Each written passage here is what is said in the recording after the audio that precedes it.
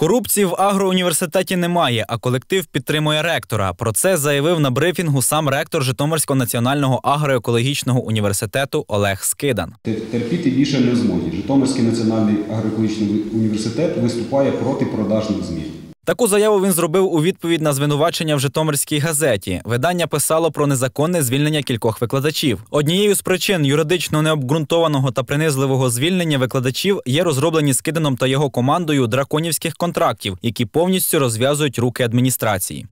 У нас є беззаперечні докази, що е, стаття була проплачена, і, і оскільки ну, ви, як фахівці, одразу самі можете бачити. По-перше, це стаття не підписана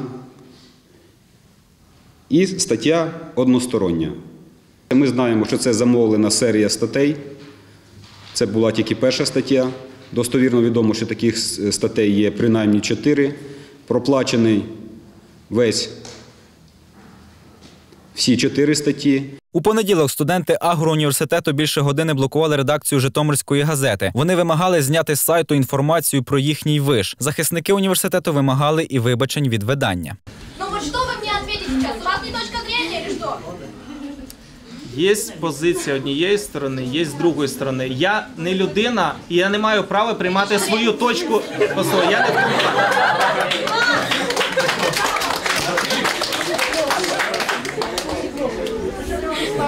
Я не приймаю свої рішення щодо правоти однієї сторони або іншої, розумієте? Редакція газети не приймає. Вначале вы пишете статью, а потом начинаете анализировать факты. Ви зараз чіпляєте. Власник газети вимог студентів не виконав, але пообіцяв надрукувати позицію навчального закладу. Більше того, анонсував публікацію нових фактів про зловживання в університеті. то там є проблема, її треба розбиратися. І не це не студенти її будуть розбирати, і не я, да? ну і не газета. Це будуть розбирати правоохоронні органи. І ми хочемо до цього їх залучити для того, щоб ну був ну був результат. Керівництво агроуніверу відступатися не буде. Ректор Скидан попередив, що в суді буде відстоювати авторитет закладу та колективу. Він планує покарати редакцію за однобоку подачу інформації. На підготовлені судові позови. Значить, перша позовна заява про захист честі, гідності, ділової репутації та відшкодування моральної шкоди, яка сьогодні, завтра, буде передана до судових органів. Друга позовна заява про спростування недостовірної інформації до суду. І третя заява, ми звертаємось до судових органів також щодо